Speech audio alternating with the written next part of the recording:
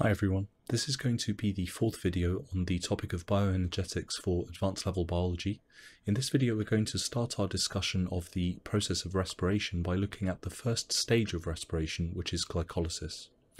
So let's begin by looking at the origin and the significance of this process of glycolysis. Now, this process is one of the many basic metabolic pathways which is actually common to all, li uh, all living organisms.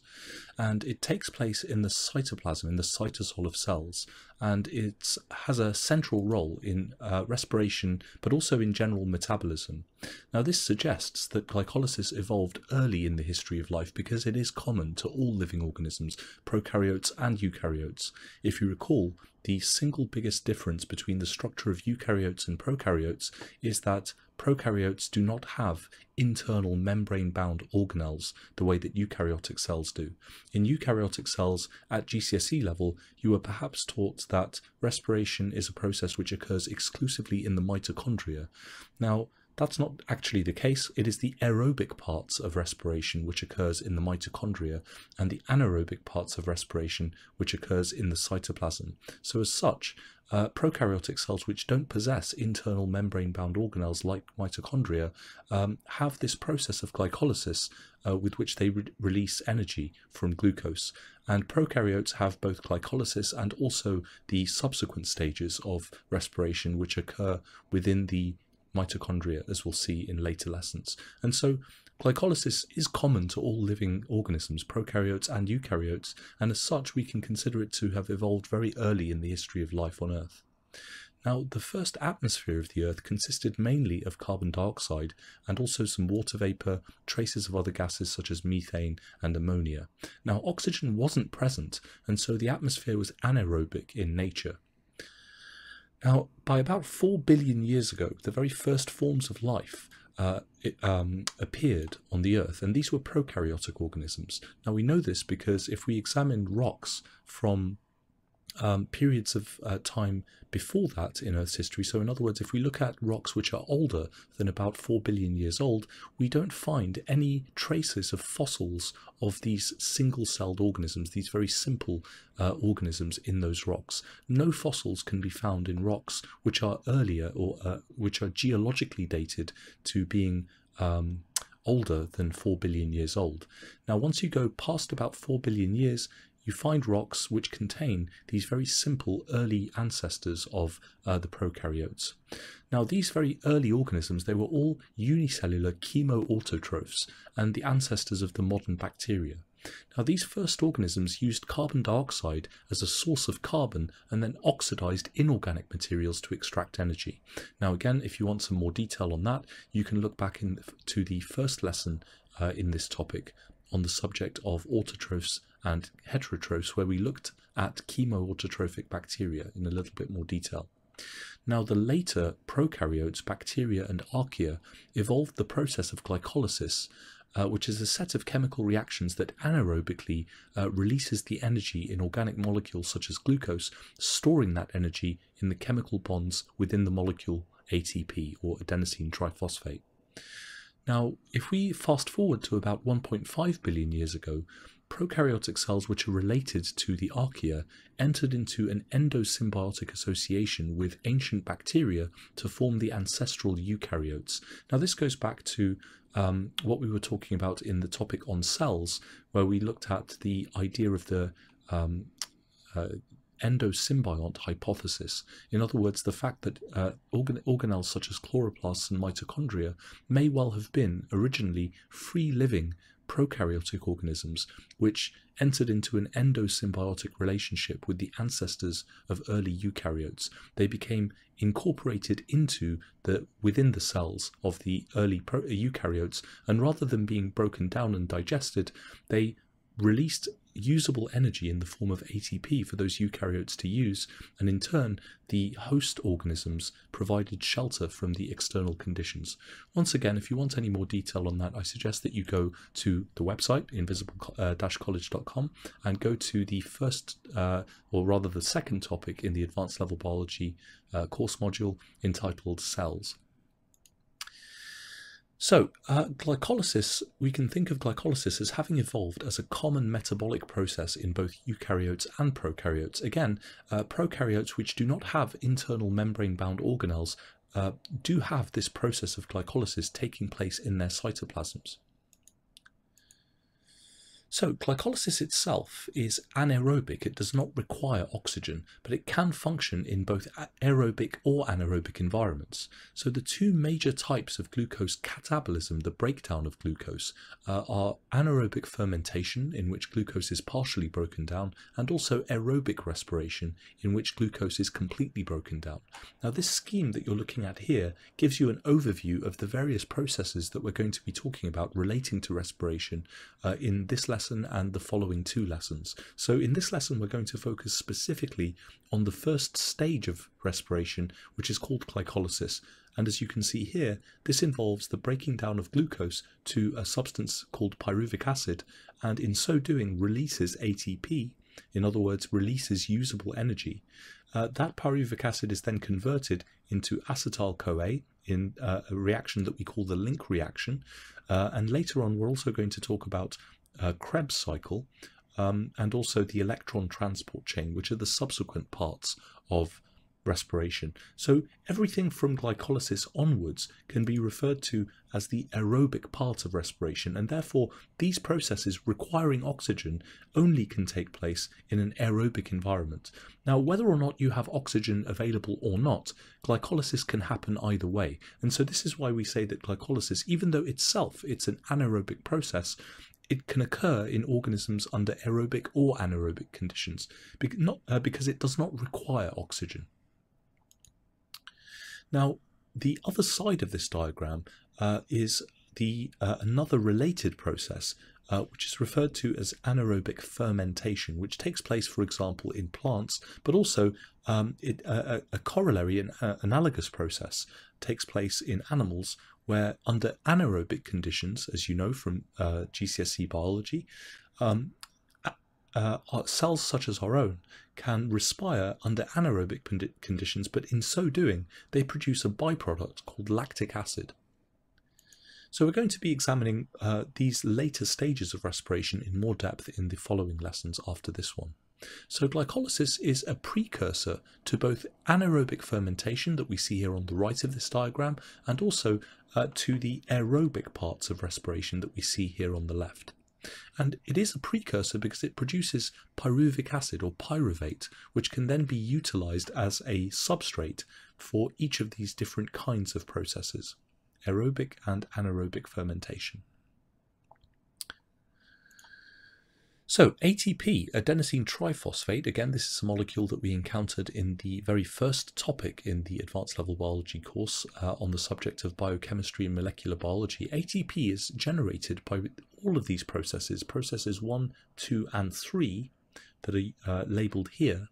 Um, so these are the processes that we refer to as glycolysis in the case of process 1.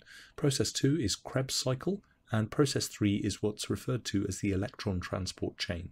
Again, we're going to be looking at these other processes in a bit more depth. Now, the Krebs cycle, the electron transport chain, and also chemiosmosis, which is uh, an associated process uh, within the membranes of the mitochondria, which happens kind of in association with the electron transport chain reactions.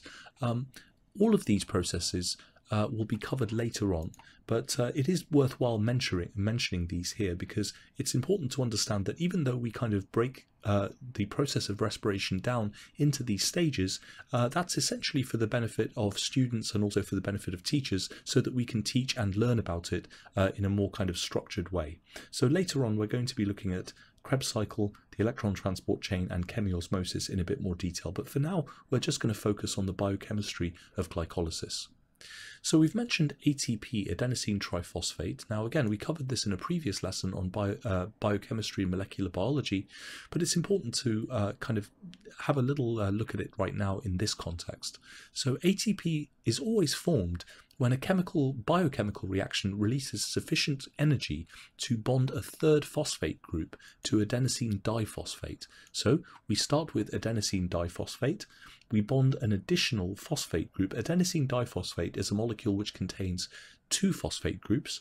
By bonding this additional inorganic phosphate group to this molecule, we store energy in that terminal phosphodiester bond when we make ATP. So this reaction, as you can see here from this double-headed arrow, is actually reversible. So once we've stored the energy in the ATP, we can then release that energy to power biochemical processes in cells um, by hydrolyzing that bond uh, which linked this terminal uh, phosphate group. So the production of ATP, the, uh, the reaction in the forward direction going from left to right, this reaction is catalyzed by an enzyme called ATP synthase. Now ATP is often referred to as the main energy currency for the cell and it also acts as a store of useful energy. Now, when there's, whenever there's a demand for energy within cells, the ATP will be broken down into ADP and inorganic phosphate. Now, in doing that, we release useful energy, and in this direction, going from right to left, the reaction is catalyzed by a different enzyme, ATP hydrolase. So ATP is synthesized by a condensation reaction in which ADP combines with inorganic phosphate. Now this, again, because it's a condensation reaction, this produces a molecule of water. Now this reaction, again, is catalyzed by ATP synthase. So to illustrate, we, we have here a molecule of adenosine diphosphate. Now the term adenosine refers to the nitrogenous base adenine, which is found in DNA, for example. Um, this nitrogenous base is, is uh, chemically bonded to a ribose sugar, and this makes adenosine.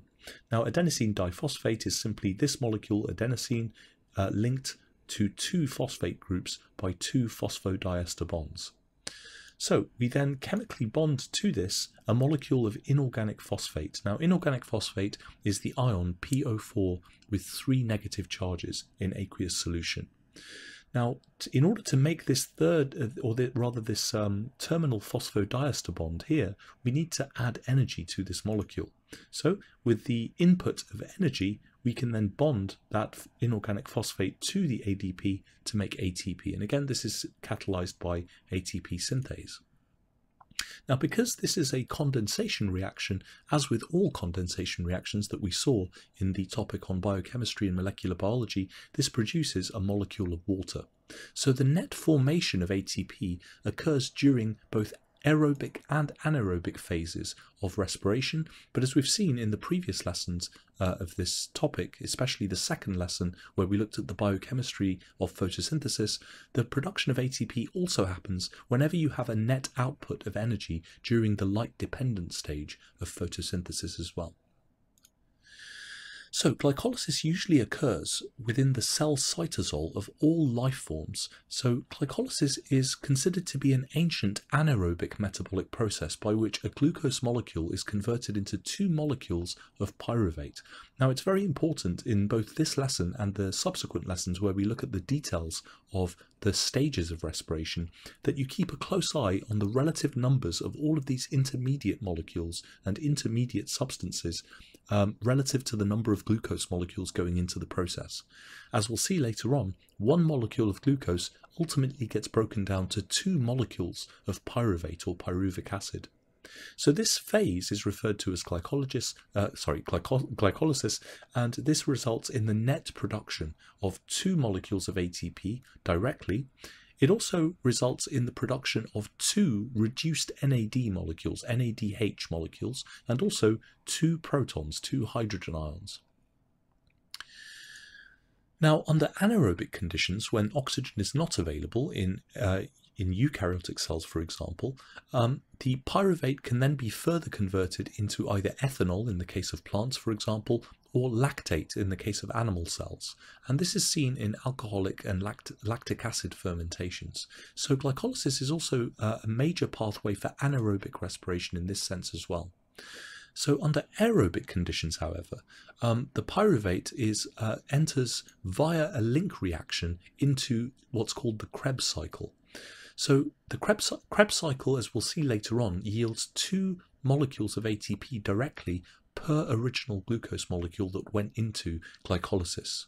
Now, in addition to all of this, you also have a series of reactions which is referred to collectively as the electron transport chain and oxidative phosphorylation. Now, it's in fact those reactions that produces the vast majority of the ATP output of respiration as a whole. So, under aerobic conditions, the total number of ATP molecules produced per glucose molecule in um, in eukaryotic cells is 38 ATP per glucose molecule. And again, that's under conditions where oxygen is available. Now, of that 38 molecules of ATP, 34 of those molecules are produced uh, during the electron transport chain and oxidative phosphorylation reactions. Now, the numbers that we're dealing with here um, I mean, this this process is rather complicated. It gets a bit more complicated than this. But in A-level biology, we, uh, regardless of how complicated it may appear, we are essentially sim sim uh, simplifying uh, the process. Um, the numbers which I quote uh, in terms of numbers of ATP molecules produced in uh, in uh, glycolysis and in the electron transport chain, for example, these are approximations, uh, but for the purposes of A-level biology, uh, the numbers uh, that we're that we're using here are perfectly acceptable. So overall, uh, one glucose molecule under conditions of aerobic respiration through glycolysis, through uh, the uh, citric acid, uh, the um, Krebs cycle and the electron transport chain and oxidative phosphorylation, in total, one glucose molecule will yield 38 molecules of ATP on average, and 34 of those, as we'll see, come from the final stages of respiration, the electron transport chain and oxidative phosphorylation. So we've looked at an overview of glycolysis. Let's now start to look at the details uh, of glycolysis. Now again, to remind you, a glucose molecule uh, has the molecular formula C6H12O6 and so we are looking at a, uh, a particular isomer of glucose uh, in a Haworth projection, uh, as you can see here.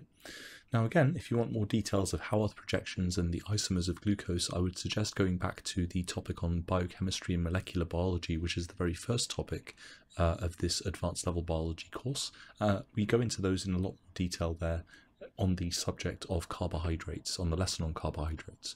Now, obviously, um, this is uh, one representation of the structure of the glucose molecule. When we simply represented it as C6H12O6, it doesn't really give us very much information about the structure of the molecule.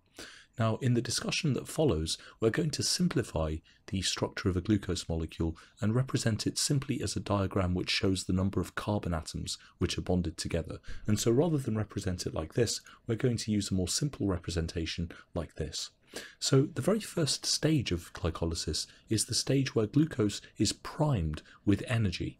And so we can say that glucose is primed with energy, it is energized or activated, and this is done by hydrolyzing an ATP molecule and using the energy released from that hydrolysis of the ATP molecule to transfer uh, the energy to carbon 6 of the glucose molecule. Now in the Haworth projection, carbon 6 is this carbon here.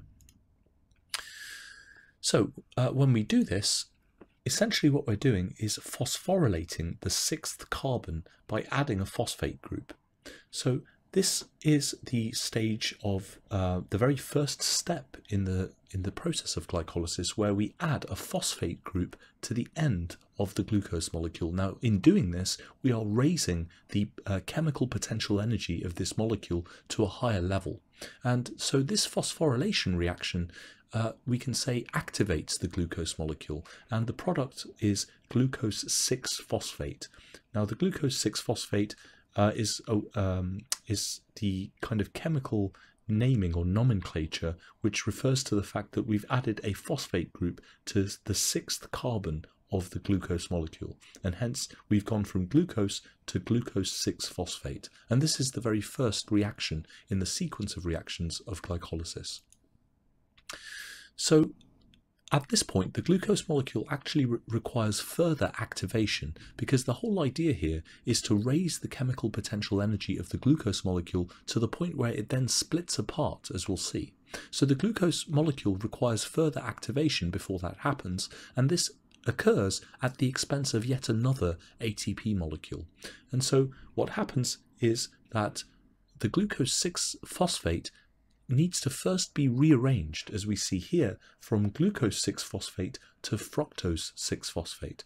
Now, fructose is again a monosaccharide. It is a single sugar unit, but as you can see here, we have changed the structure of the glucose 6-phosphate molecule and rearranged it so that we're not dealing with a six-membered ring here, we're now dealing with a five-membered ring. We still have six carbons, but now this is the position of carbon 1, carbon 2, carbon 3, carbon 4, carbon 5 and carbon 6. So the glucose 6-phosphate first has to be rearranged into fructose 6-phosphate and it's at this point that we can then uh, activate this molecule further by adding additional energy to the molecule. So this reaction is referred to as an isomerization reaction uh, because essentially we're dealing with two molecules with the same atoms in them of each element but with different uh, connectivity between those atoms by chemical bonds.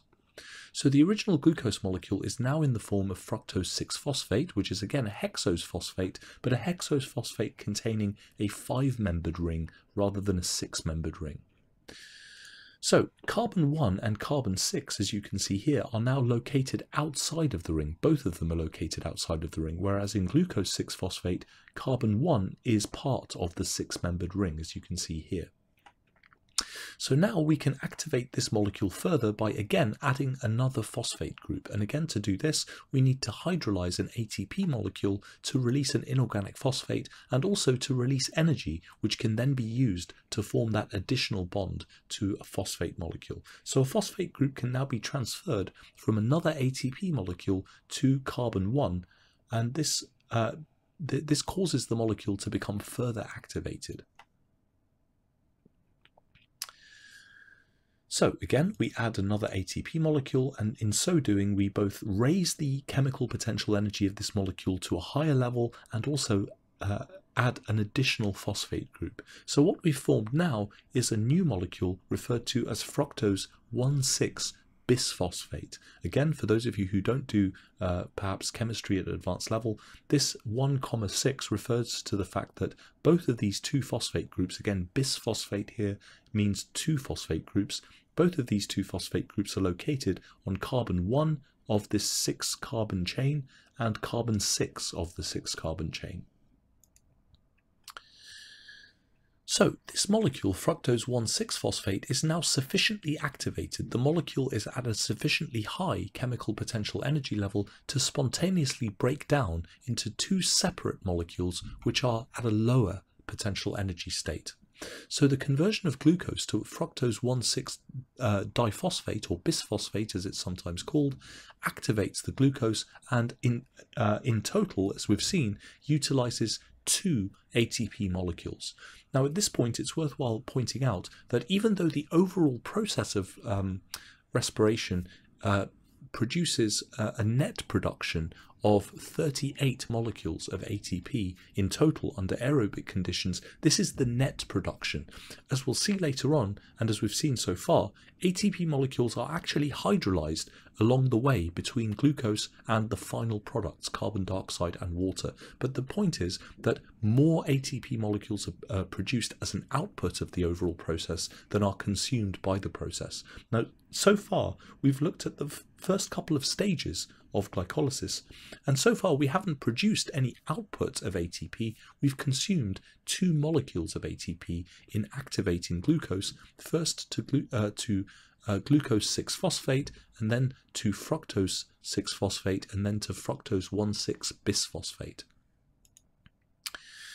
So we've started with glucose, we have phosphorylated glucose with the use of one ATP molecule to make glucose 6-phosphate. Following that, we have isomerized glucose 6-phosphate to form fructose 6-phosphate, and then we have further activated the fructose 6-phosphate by phosphorylation, again using an another molecule of ATP to form fructose 1,6 bisphosphate. So the conversion of glucose all the way to fructose 1,6 bisphosphate makes use of two ATP molecules. Now, the, the phosphorylation, the addition of phosphate groups to any substrate molecule is called substrate phosphorylation, and sometimes this is referred to as substrate level phosphorylation. Now, this is a phrase that you're going to see used both in the context of respiration and also in many other biochemical reactions. So just remember, whenever you see this phrase, uh, substrate phosphorylation or substrate level phosphorylation, it's referring to the addition of phosp uh, phosphate groups to any substrate molecule.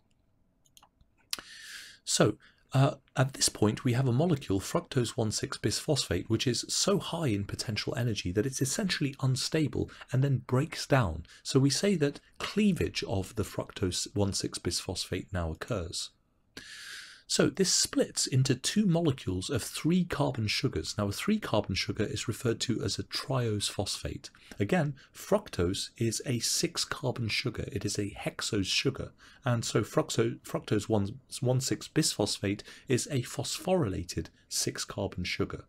Now, if this splits equally in two, we can expect to produce two three carbon sugars, each of which are phosphorylated. So again, going back to that simplified uh, diagrammatic way of representing these molecules, we start with a molecule of fructose 1,6-bisphosphate. The red uh, circles here represent the six carbon atoms, and the two yellow circles represent the two phosphate groups. This then splits or cleaves uh, in the middle to produce three, uh, two molecules of three carbon sugars, each of which has one phosphate group. So now each triose phosphate molecule is now converted into pyruvic acid or pyruvate by a series of steps. So we start with two molecules of triose phosphate. These are then converted into two molecules of phosphoglycerate. Now this step is an oxidation and involves the removal of two hydrogen atoms from each triose phosphate molecule. And so in doing this step, we are oxidizing these in the sense that we are removing hydrogen atoms from them. Now, again, uh, this is something that I, I, you know, I need to reiterate many, many times. But at GCSE level, excuse me, my voice is still recovering from a cold. I apologize. At GCSE level, you would have been taught the idea that oxidation uh, is defined as the loss of electrons or the uh, or and reduction is the gain of electrons. Before GCSE level, you may have referred to oxidation as the gain of oxygen um, and uh, or, uh, and reduction as the loss of oxygen. Now, both of those definitions are correct. They just involve different um, additions or removals of different kinds of particles. So, oxidation can be uh, can, uh, can be used to refer to either the loss of electrons or the gain of oxygen atoms. Now, at advanced level, both in chemistry and biology, you need to be aware of a third definition for oxidation and reduction.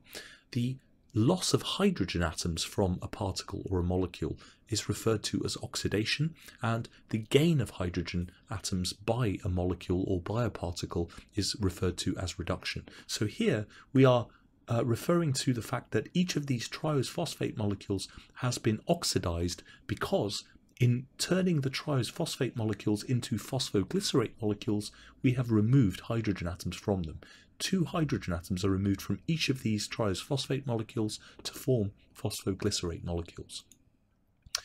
Now, in order to do, uh, to do this reaction, we also actually form molecules of ATP in the process because these rea uh, this reaction is exergonic. It is uh, it is a reaction that produces a net output of energy, and in so doing, we can then use that energy to form ATP from ADP. And so because we are converting two molecules of triose phosphate to two molecules of phosphoglycerate, we also produce two molecules of ATP in this process. Now at this point the phosphoglycerate molecules are then converted into pyruvic acid. Now pyruvic acid is the term for the molecule itself. When that molecule is in aqueous solution it dissociates to form uh, an, an ion called the pyruvate ion. And so often you will see biologists refer to pyruvic acid and pyruvate interchangeably. So glycerate phosphate uh, or phosphoglycerate is converted into pyruvate and this involves the release of sufficient energy to form yet another molecule of ATP per molecule which is converted. So again, here we have another process which uh, which releases sufficient energy to form another molecule of ATP. And because we're doing this process for two molecules of phosphoglycerate to form two molecules of pyruvic acid, we produce two molecules of ATP.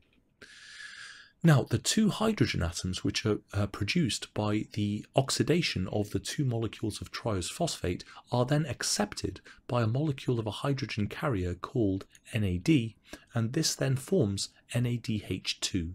So this is reduced NAD. Now, due to the prevailing pH, the NADH2 then dissociates to form NADH and H+. So uh, this is the overall scheme by which triose phosphate is converted by two steps into pyruvic acid. So let's quickly summarize what we've talked about so far in glycolysis. So one molecule of glucose is first primed with energy to form uh, First, uh, uh, glucose 6-phosphate, it is then isomerized to form fructose 6-phosphate, and then that fructose 6-phosphate is further primed with more energy and also phosphorylated again to form fructose 1,6-bisphosphate. So overall, that stage utilizes two molecules of ATP in total. At that point, you have fructose 1,6-bisphosphate, which is uh, high in chemical potential energy and is therefore unstable and spontaneously breaks down to form two molecules of triose phosphate. Each triose phosphate molecule then gets oxidized ultimately to form a single molecule of pyruvic acid or pyruvate, and that stage generates in total, as we saw in the previous slide, four molecules of ATP. So the net gain of ATP from glycolysis in total if two molecules of ATP go in per molecule of glucose and in total two mole uh, four molecules of ATP are produced per molecule of glucose in going from one molecule of glucose to two molecules of pyruvate, then the net production of ATP by glycolysis is two molecules of ATP per molecule of glucose. Now, in addition to that, it's really important to remember that two molecules of reduced hydrogen carriers, two molecules of NADH, and also two hydrogen ions are produced as well in total. Now, I'd like you all to make sure that you bear these totals in mind because we're going to go into the next stages of glycolysis in subsequent lessons. And when we reach the end of this section of this topic, uh, we're going to do a summary of the overall process of respiration, uh, both glycolysis and also the aerobic phases of respiration, the Krebs cycle, the electron transport chain, and summarize where all of those 38 ATPs come from. And in, in so doing, it's really important that you keep track not just of the um, intermediate molecules that are being produced and the numbers of those which are produced per molecule of glucose, not just the total numbers of ATP molecules that go in and come out of that process, uh, but also the molecules of these reduced hydrogen carriers which are produced and the hydrogen ions as well because as we'll see in the uh, next couple of lessons these are also very important in the overall production of ATP in the later stages of respiration. Okay everyone, that's going to do it for this lesson and I will see you in the next lesson where we continue our discussion of respiration.